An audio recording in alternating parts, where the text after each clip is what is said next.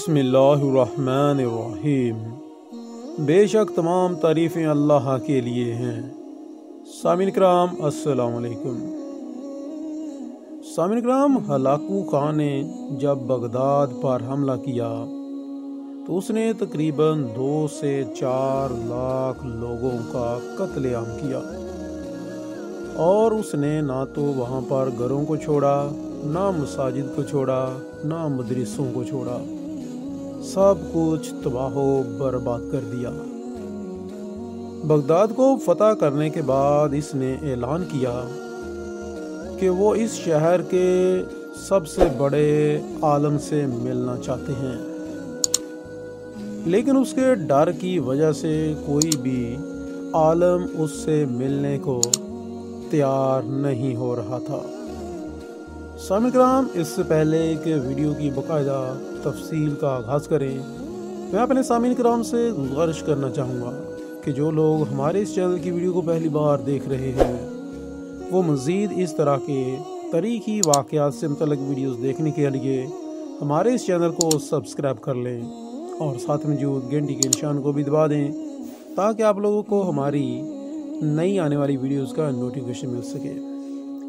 सामिक्राम जब लोगों ने इनकार कर दिया हलाकू खान से मिलने को, आखिरकार एक शख्स जिसका नाम कादिहान था, इसने एक जो मदरसे का उस्ताद था, इसने अपने आप को तैयार किया हलाकू खान से मिलने के लिए।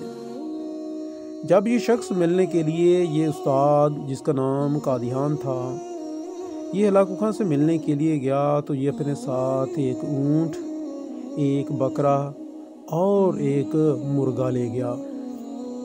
हलाकू खान ने इसे सर से पाँव ताकर देखा और फिर अपने सिपाही को पूछ अपने सिपाही से इसने, क्या तुम लोगों को यही एक शख्स मिला था?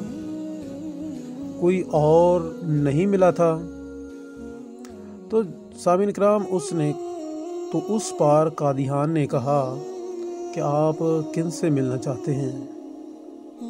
अगर आप किसी बड़ी, बड़े से मिलना चाहते हैं तो बाहर ऊँट खड़ा है।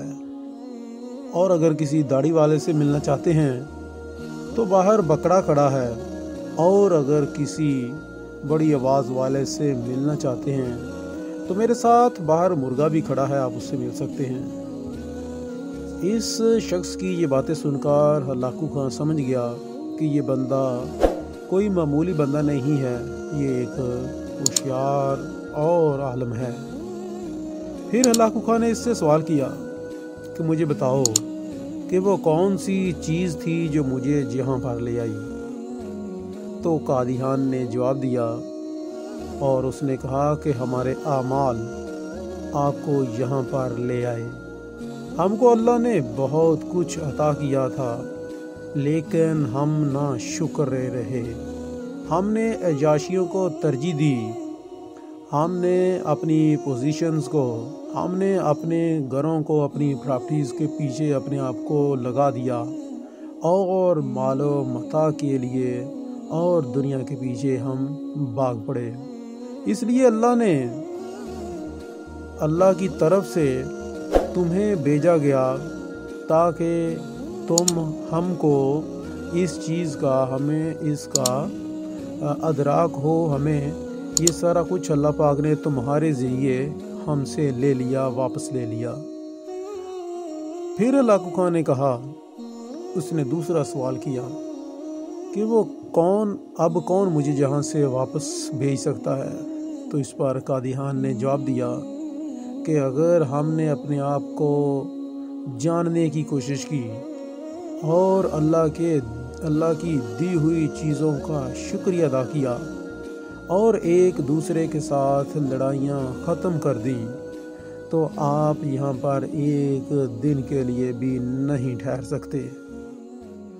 तो सामिन कराम, मकसद बात करने का ये है कि आज हमने अपने अल्लाह को बुला दिया है। और आज जो मुसलमान हर तरफ़ से मार खा रहे हैं, हम अपने अल्लाह को भूल चुके हैं। और हम लोग अपनी ज़मीनों को और अपनी लड़ाइयों में ही मगन हैं। और अल्लाह की दीन में इस वक्त कौन अल्लाह के दिए हुए इस दीन का ख्याल कर रहा है? कौन हकूकुल्ला का ख्याल कर रहा है इस वक्त? कौन हकूकुल बाद के लिहाज से इस वक्त देखा जाए तो कौन पूरा उतर रहा है?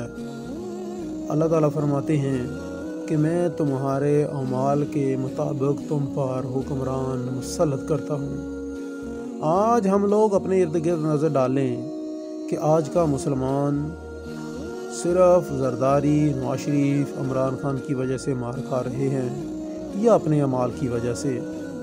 अल्लाह ताला हम सबको अपने दीन पर अमल करने की तफ़ीक अता फ़रमाए और हमें अपने दीन पर इस्तकामत अता फ़रमाए।